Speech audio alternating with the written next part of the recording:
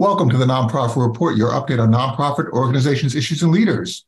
I'm your host, Mark Oppenheim, and today we're going to talk about jazz, one of my favorite topics, with great trailblazers in their own right. Tim Jackson, Artistic Director of Monterey Jazz Festival, Susan Muscarella, President of California Jazz Conservatory, and Randall Kline, Founder and Executive Artistic Director of SF Jazz.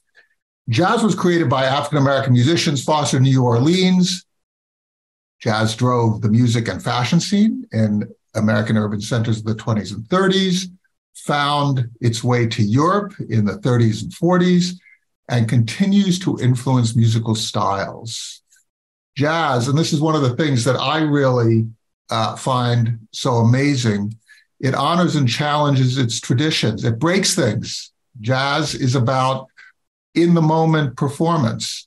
So I'll never get a ch- better chance to ask this question. What makes jazz jazz? And if that thing is missing, it's not a jazz performance. I know that you each have had that, that period where you're listening to a performance and you're thinking, uh-uh, no. Tim, what is what makes jazz jazz? Well, uh, you know, I first think of that, uh, you know, that old line of, uh, you know, I know it when I hear it. Uh, but I think, I think deeper than that, for me, um, I think first of pulse, pulse in the music, um, and a forward energy. And I, I say pulse instead of swing because to me, uh, jazz is more than just um, you know quarter notes on a ride cymbal. Um, it, it, doesn't. It, that can be jazz, but it isn't always jazz. Um, so I think more in terms of uh, pulse, which creates forward momentum. Uh, that that's a key marker for me. Uh, I think beyond that, um, there has to be improvisation. There, there, there, there has to be communication and um, uh, the ability to uh, cross communicate between uh, the artists on the bandstand.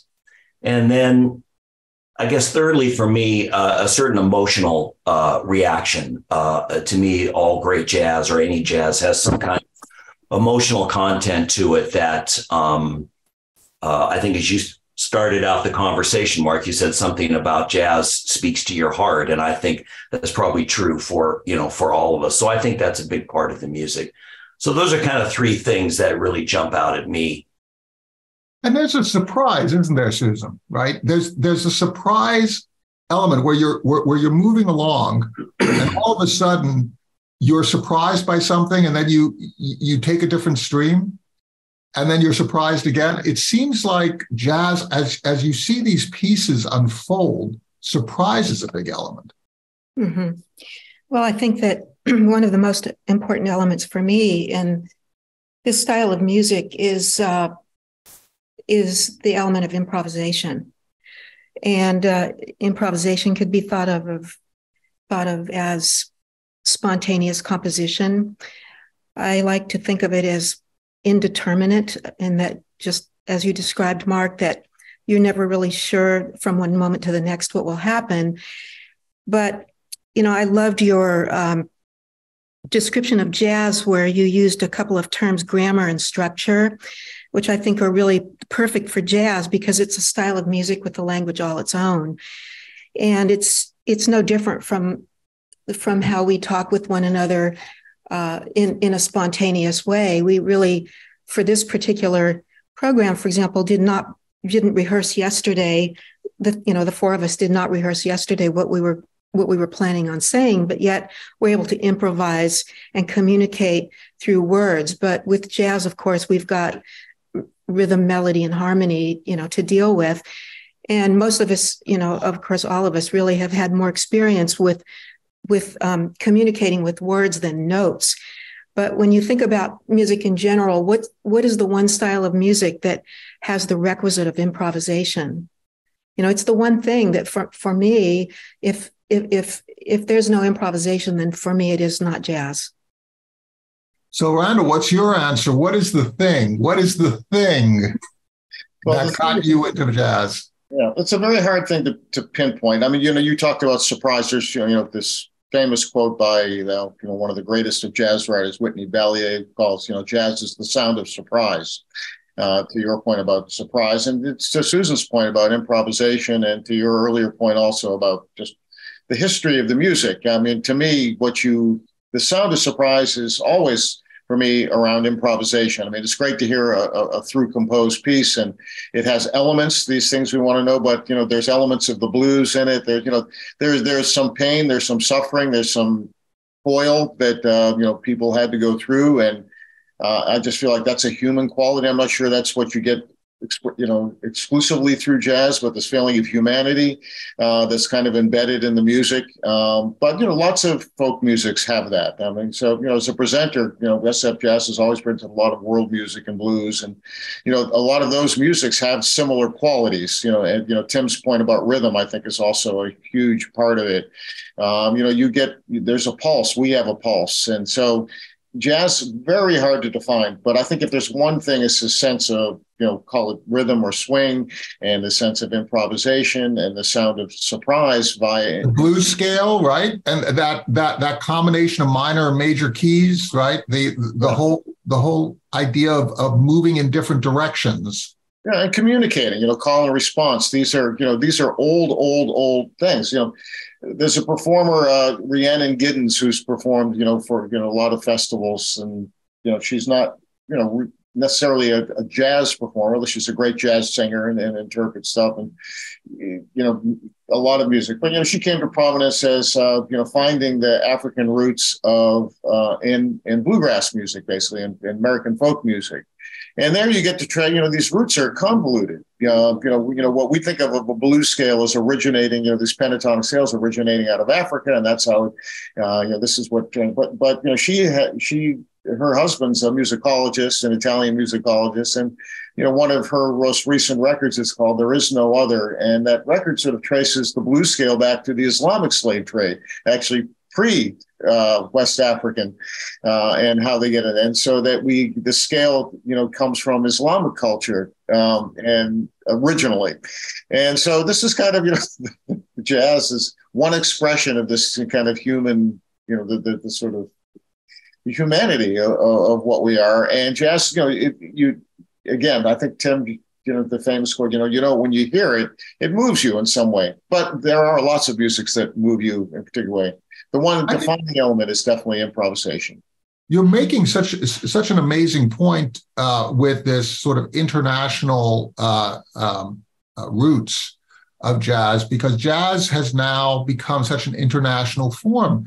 I hear within jazz sometimes uh, riffs that come straight out of uh, the music of, of India, of the continent of India, of, of, of uh, Bollywood popular um, um, uh, uh, music. I hear uh, music that comes out of the Middle East. I hear music that comes out of out of Africa. Um, I hear music that comes out of the United States. Susan, when you're when you're training artists, where do the artists come from? The younger artists that are coming in. What is their perspective now? Are they coming out of this traditional um, uh, uh, jazz and blues world into your schools with that sensibility, or are they coming from uh, a cross fertilized, internet informed, streaming music accessible uh, perspective where they're where they're taking what they hear and fusing it into their art?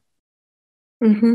Well, you know, I think. Um, one thing that's important to note is that jazz is a very democratic art form and, and very inclusive and it really allows for everyone to participate in in an equal way. I think that's important to, to note. But one um, uh, one thing that I thought was was of utmost utmost importance when I founded the school in 1997 was that we offered a school for the study and performance of jazz and related styles of music. So just as you were saying, Mark, it's you know it, there there I wouldn't, you know, I know that jazz has come from New Orleans and and and has a specific, um, you know, rhythmic um, foundation and and and so on. but that it, it is very inclusive and it in, includes a lot of uh, you know international uh, styles and and influences. And so, for example, when uh, when I started the school, uh, we we began as a community music school, and it it was always for music study, and it was always for relate jazz and related styles of music.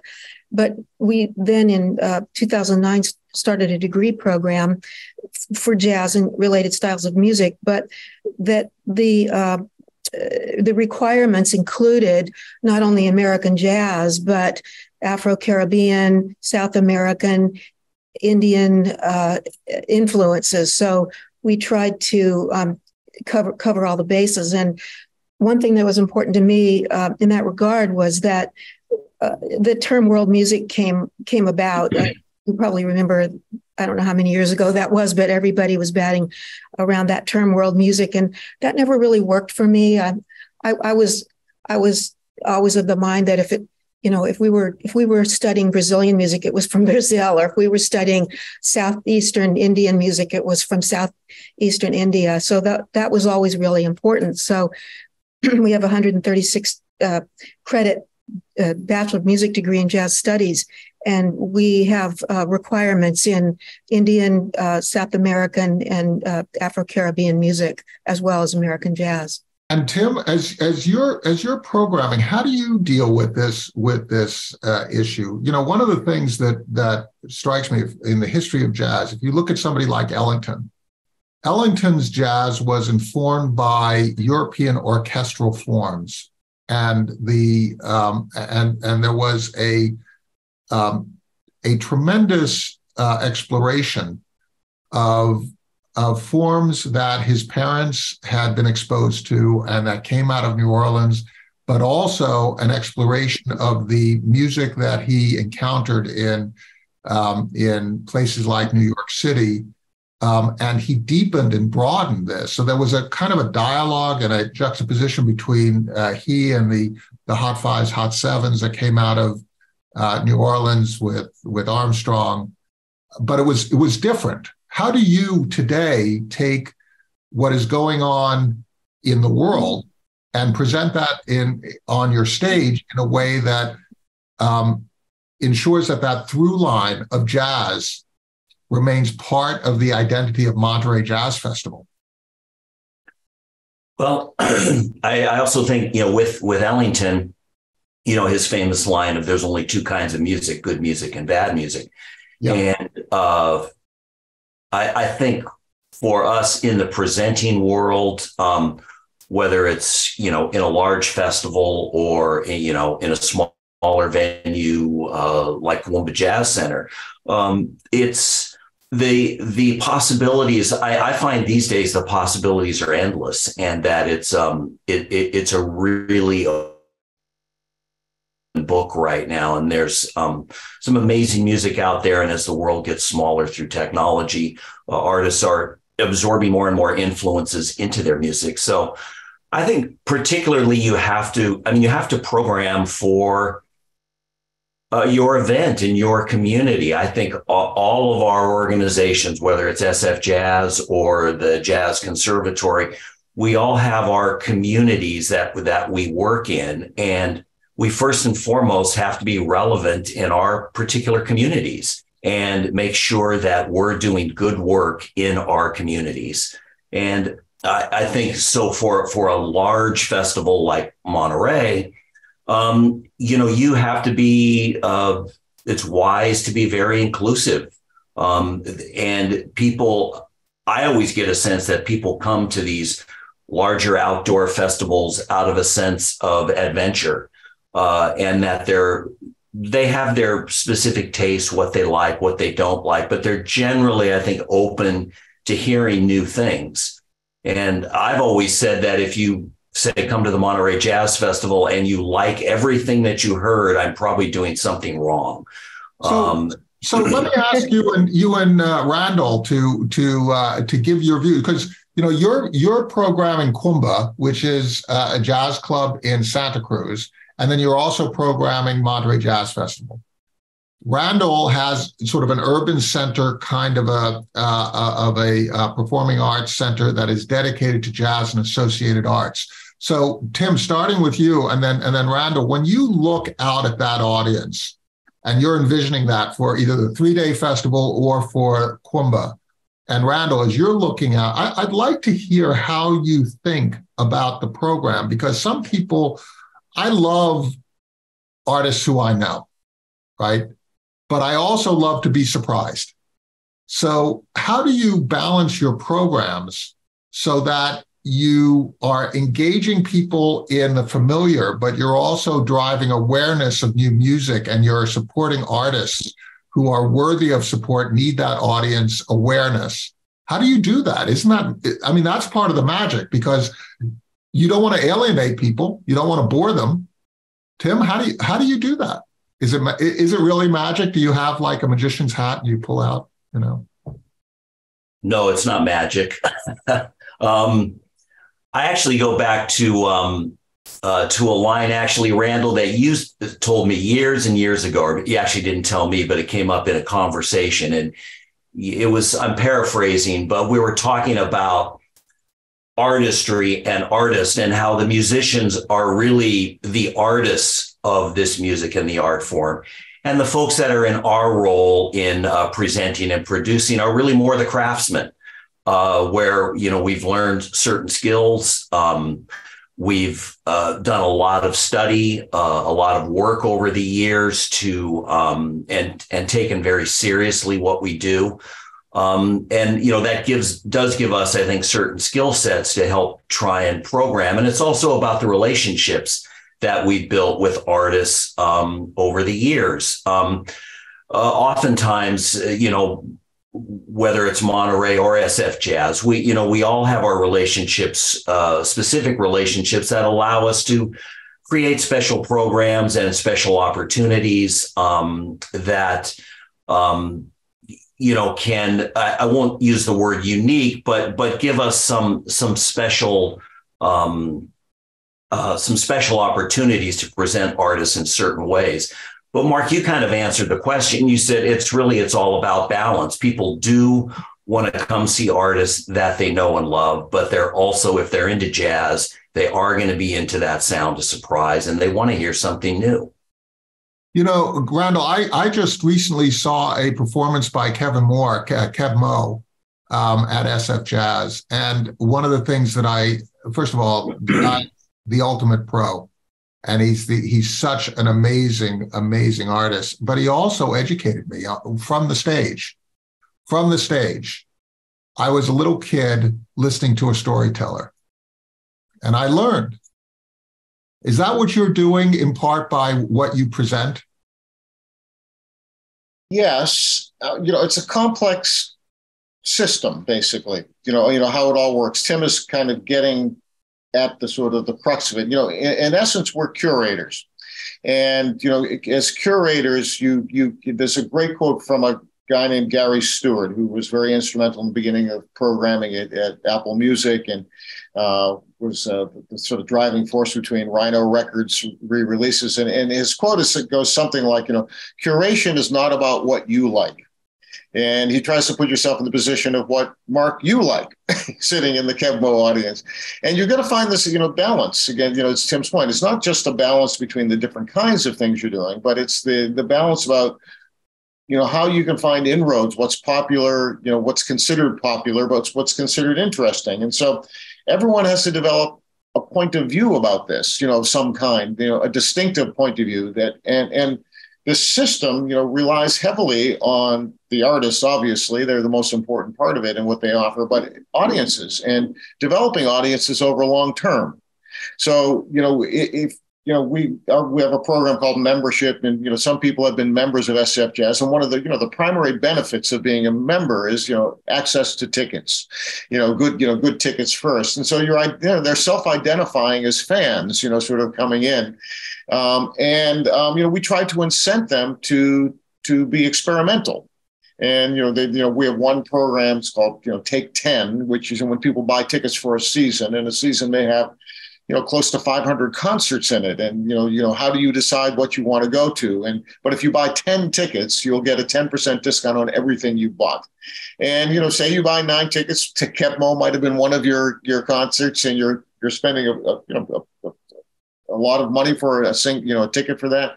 And you're and you've committed to you know nine things you love and you, you're you're done. And then you start looking oh if i take the show you know we have two performance spaces. One is uh, called the joe henderson lab which is a 100 seat room versus the 700 seat room we have.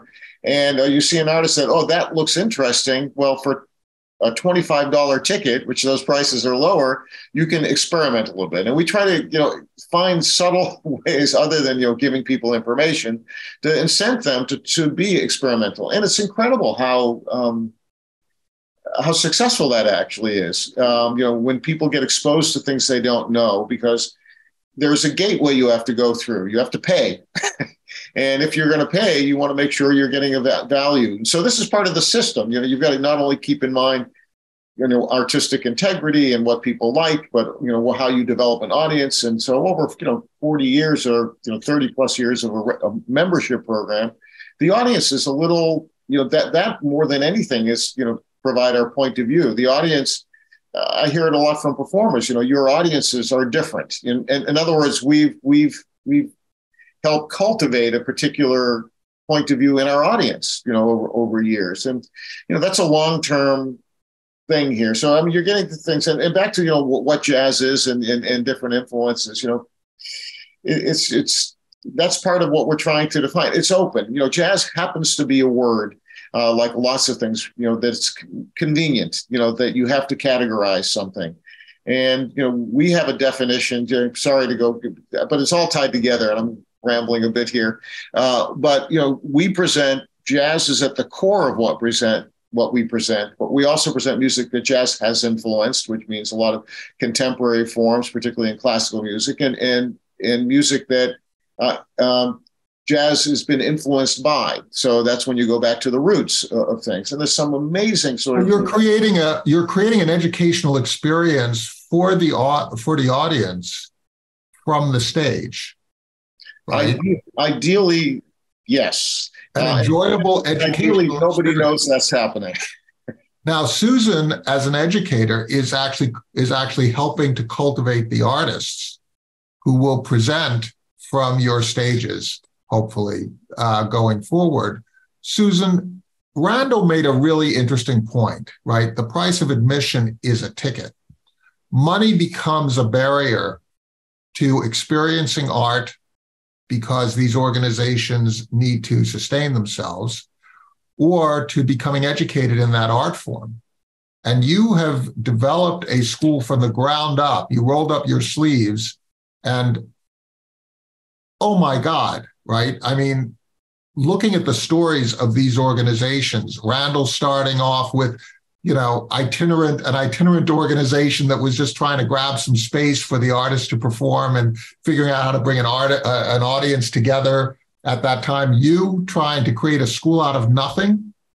How do you actually balance those needs of, of cultivating artists who are great and also ensuring that you uh, maintain the financial wherewithal to advance this. How does that work? Well, I mortgaged my house.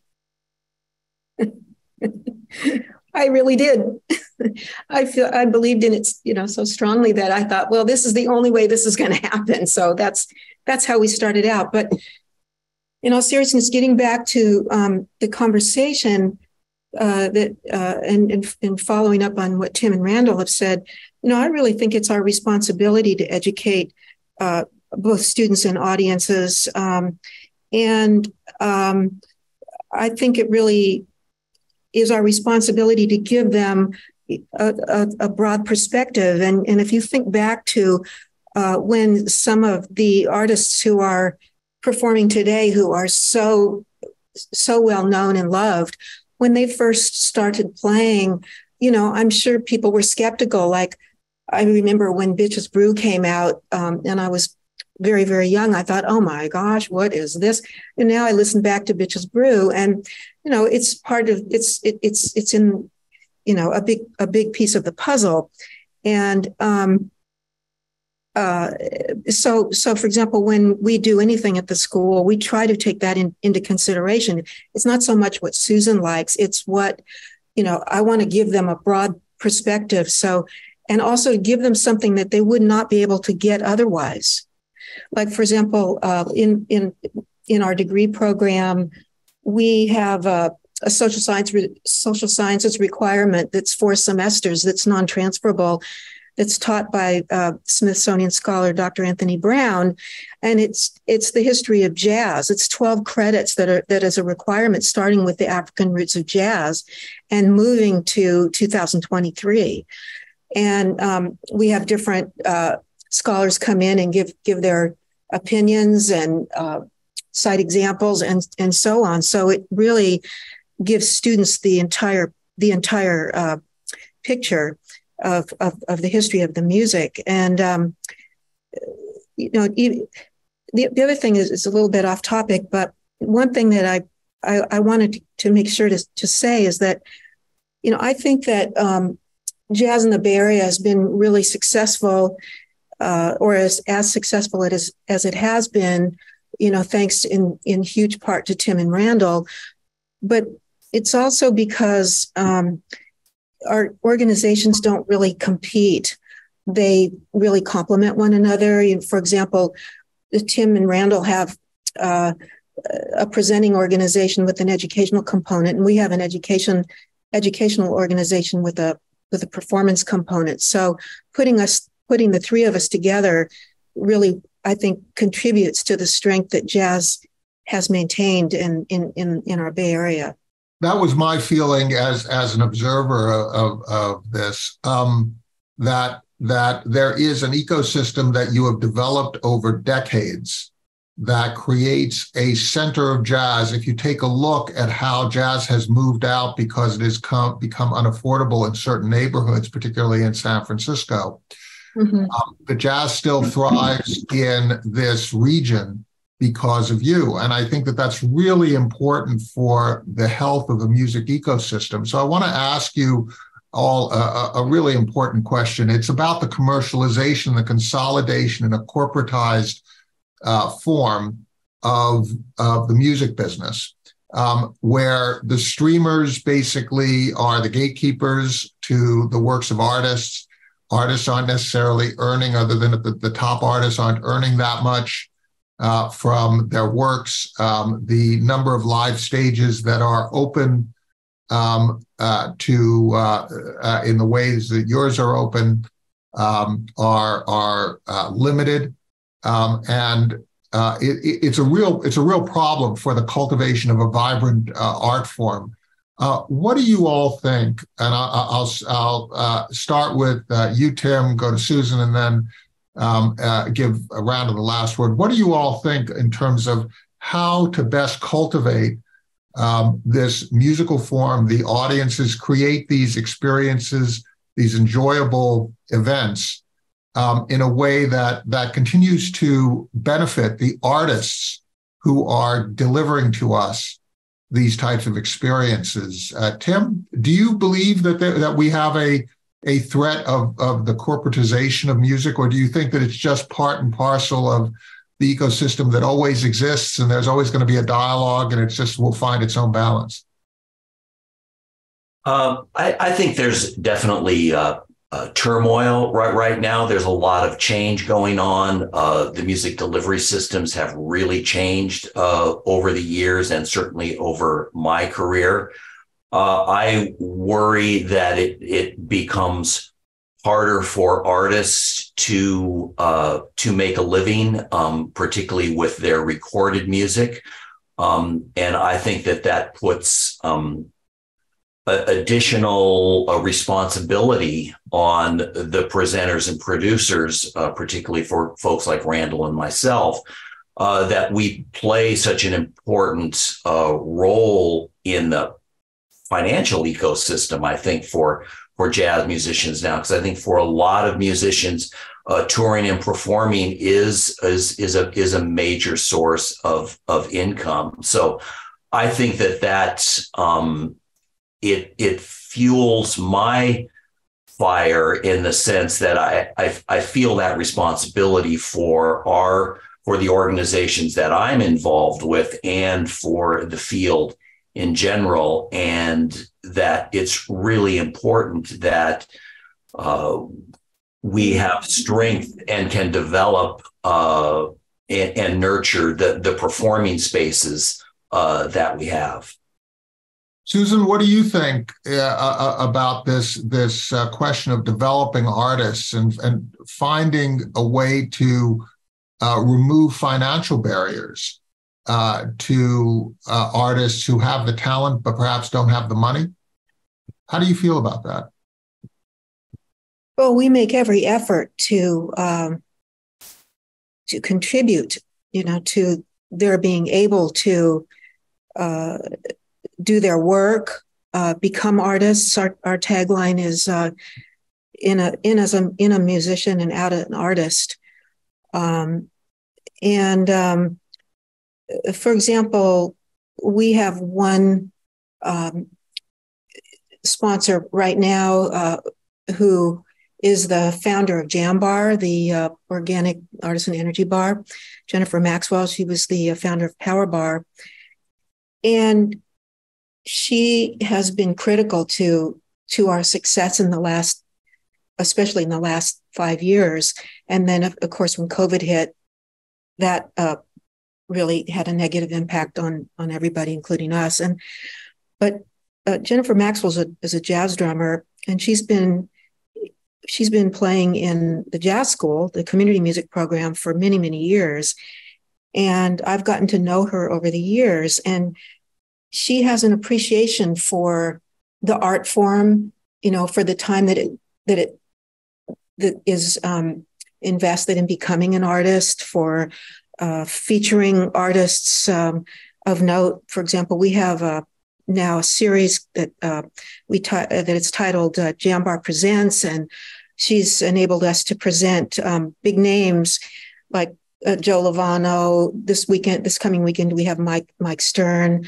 Um, you know, we've we've had uh, access to these artists thanks to her, and what what we're what we're able to do is to give our students and our audiences an experience that we would otherwise not be able to give them given the size of our venue. For example um, we, we are, we're not a monterey jazz festival or an sf jazz and that was actually by design. I, I, I was interested in a you know 100 seat 1940s intimate jazz club.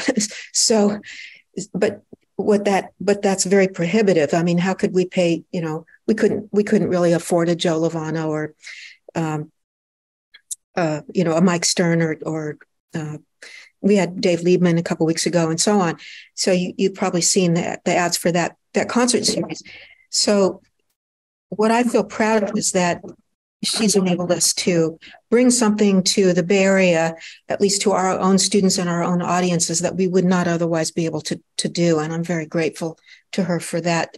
Well, and you get you get the world that you invest in, right? The return on investment, what you're saying is the return on investment here is jazz. It's great music. Randall, mm-hmm. I remember when I worked for you, uh, doing that that search for your development head. You and I sat in your office. You don't remember this conversation, I'm sure, and we were talking about how you approach a, a, a donor who does not play an instrument and may only go to concerts and performances rarely and you talked about the fact that that investment is going to get that person something that their other investments will not. And that will be music, right? That will be jazz. Mm-hmm. And that's what you, and that's what Susan's talking about. Mm-hmm. How do you cultivate that future in a way? Because we're buying our future. If we if we don't buy music, we won't have music. It's really that simple, right? Yeah. Well, you know, the, we're back to the ecosystem here. You know, you know the, the complexity of the ecosystem, and and the, the thing that works, you know, that, that doesn't work for anybody here, um, in, in this ecosystem. With, without artists, it doesn't work. And this happens to be both the most challenging time for distribution models, as Tim's referring to, and and you know but it also is, uh, and in the last 10 plus years has been a, a, kind of a beautiful, brave new world of artists being able to talk directly to their audiences via, yes. you know, initially through YouTube. Um, and, you know, I've run across artists, you know, again, the artist wants to be an artist. They don't need to be their own promoter. And, you know, that's a difficult role to play, you know, both. However, people have a chance to talk via these social media platforms to audiences that they've never had direct access to. And I know people who've made good livings from this and have been savvy about it and know the same game that Tim and I play to try to get audiences in to get people to watch their YouTube channel or to you know to to do that. And so artists now can sell records. Bandcamp is another great example of something where artists sell their their self-produced records through. And you know that distribution channel was something that was not there, and this is you know worldwide. And you know so so this long tailish thing that the, the internet promised us for jazz and a niche form, uh, you know, can still be harnessed. It's challenging. It, it's out there, but you know you all you you said something earlier, Mark, about you know you know organizations need revenue to to be there. But the key thing is artists need revenue for us to need revenue. That's exactly right. Artists need to make a living in order for us to have access to their art. We ought to give greater appreciation to that fact. That is the one indelible. And I want to share with you um, uh, two of our, our three polls. 100% of the respondents, when we asked what is the best experience of music, 100% said no, no, uh, no doubt live performance. Live performance is the way, is the preferred way. It gives us people the most joy. So if we're going to have the most joy, let's give the most access to live performance. And then the other the other poll, which is just amazing, we said, what do you think is the biggest barrier today for jazz to thrive as an art form? And it's really lack of musical education and exposure. It goes to Susan's work, Tim's work, Randall's work. All of you being able to create that exposure and create that enjoyable experience of music, but also an educational one. And, and the access to instruments was another one. The, the cost of live uh, performance was another, was another issue. Barriers that we can actually address. And you are doing that every day through uh, Kuumbwa and Monterey Jazz Festival, through SF Jazz, and Susan through California Jazz Conservatory thank you so much for sharing this. We could go on for, for another half hour, but we've come to the end of our time. Tim Jackson, Artistic Director of Monterey Jazz Festival and Kuumbwa, Susan Muscarella, President of California Jazz Conservatory, and Randall Kline, Founder and Executive Artistic Director of SF Jazz. You have made my life better just by helping me to understand your world and by also presenting music that is just so wonderful that I enjoy. Thank you so much. Please thank your your staffs, your boards, your your donors, your audiences, and most of all, as Randall says, as Tim says, as Susan says, the artists, the artists who we need to all support. Thank you so much. Thank you, Mark. Thanks, Mark.